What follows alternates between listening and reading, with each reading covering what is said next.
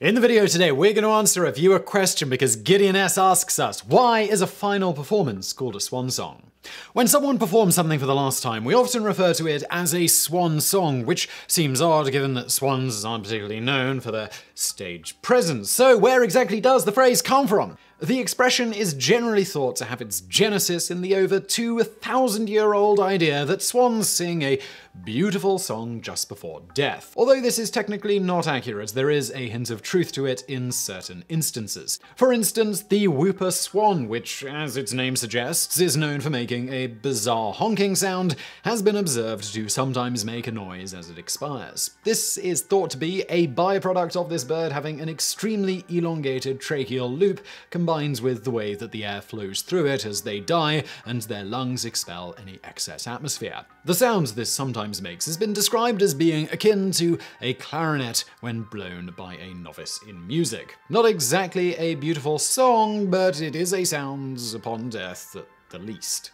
Interestingly, the whooper swan is endemic to Greece, leading some to speculate that someone in ancient Greece heard one of these birds' dying sounds and subsequently exaggerated the event and attributed the same to all swans, thus giving rise to this legend. Perhaps the first known instance of the idea of swan singing just before death appeared in the 6th century BC in one of Aesop's fables, The Swan and the Goose. It reads, a certain rich man bought in the market a goose and a swan. He fed the one for his table and kept the other for the sake of its song. When the time came for killing the goose, the cook went to get him at night when it was dark and he was not able to distinguish one bird from the other. By mistake, he caught the swan instead of the goose. The swan, threatened with death, burst forth into song and thus made himself known by his voice and preserved his life by his melody.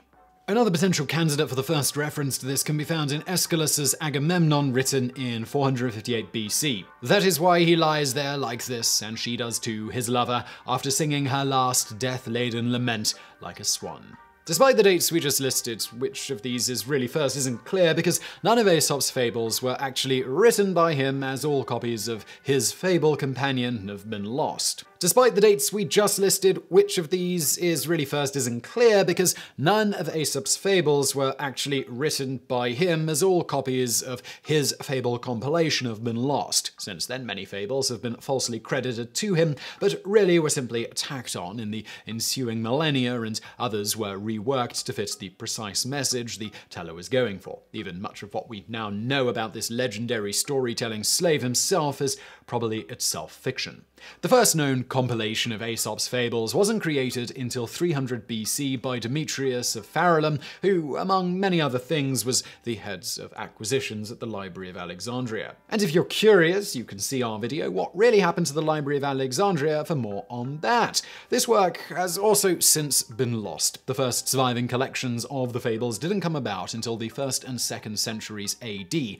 Needless to say, with a 600 plus year gap between when Aesop supposedly lived and his first surviving collection of his fables, it's difficult to say when the story of the swan and the goose was first written down, let alone when it was first spoken. Whatever the case, from here the notion of swan singing just before death appeared in countless pieces of classical literature, poetry, and music. For instance, in Plato's Phaedo, Plato claims that Socrates stated, Will you not allow that I have as much of the spirit of prophecy in me as the swans? For they, when they perceive that they must die, having sung all their life long, do then sing more than ever, rejoicing in the thought that they are about to go away to the God whose ministers they are. But men, because they are themselves afraid of death, slanderously affirm of the swans that they sing a lament at the last, not considering that no bird sings when cold or hungry or in pain, not even the nightingale, nor the swallow, nor yet the hoopoe, which are said indeed to tune a lay of sorrow, although I do not believe this to be true of them any more than of the swans. But because they are sacred to Apollo and have the gift of prophecy and anticipate the good things of another world, therefore they sing and rejoice in that day more than ever they did before. And I too, believing myself to be the consecrated servant of the same God and the fellow servant of the swans, and thinking that I have received from my master gifts of prophecy which are not inferior to theirs, would not go out of life less merrily than the swans. Numerous historical figures have since made attempts to debunk the idea that swans sing upon their death, such as Pliny the Elder, who wrote in the 1st century AD. Observation shows that the story that the dying swan sings is false, judging from experience in his landmark, Natural History. Nevertheless, the notion endured. Notable instances of this include Chaucer writing in his 14th century Parliament of Fowls, The Lalla Swan aeons his death that singeth which in modern English means the jealous swan sings before his death. Interestingly, this poem also includes the first explicit Valentine's Day love connection, as we have recently covered in our video on the origin of Valentine's Day. Even Leonardo da Vinci got into the swan song death action, noting, the swan is white without spot, and it sings sweetly as it dies, that song ending its life. Shakespeare also wrote in the 16th century, The Merchant of Venice, Let music sound while he doth make his choice. Then, if he lose, he makes a swan-like end, fading in music.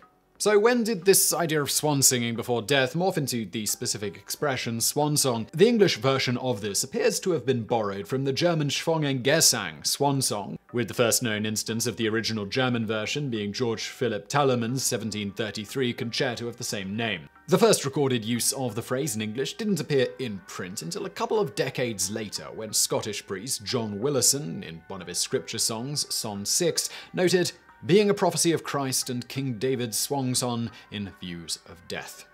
In Sermon 2 of his 1747 Five Sacramental Sermons, published in the Balm of Gilead, Willison also mirrors the sentiment in Plato's Phaedo, referring to a swan song upon death being one of joy, writing, You may sing that swan song, Psal 48, 14, for this God is our God forever and ever, and he will be our guide even unto death. It is this that gives a believer peace in his latter end. It made David to triumph in the view of approaching death. As for how this popularly morphed into referring to a performer's final work or performance, beyond a few other references very loosely fitting the bill, the first known more explicit instance of this was the great Franz Schubert's 1828 Swan Song, which is a collection of songs by Schubert written near the end of his life and published in 1829, a year after his death at the tender age of 31. Not to be confused with Johann Swen. Schubert did not, however, name this posthumous work. Instead, Tobias Haslinger published the collection under his name, referencing the age-old notion of swans singing a final, beautiful song before expiring, with, of course, Schubert being the swan in this case, and the collection his final song. Incidentally, the name swan itself has its roots in the Proto-Indo-European root swen, meaning to sing, make sound.